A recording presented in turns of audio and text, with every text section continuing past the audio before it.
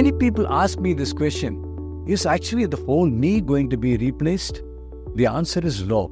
In that, we only replace the portion that is worn out. Like here, you can see only this portion that is worn out is actually uh, replaced using a cap.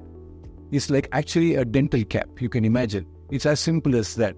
We just chisel the bone into its particular shape with the, the preoperative planning that I've been talking to you about, and then we perform this knee replacement by just putting a cap here, the, a cap in the bottom, and this is uh, what is actually a knee replacement. So we do not replace the entire knee. We just put a cap at the end. That's what makes this technology and this operation so very successful for patients.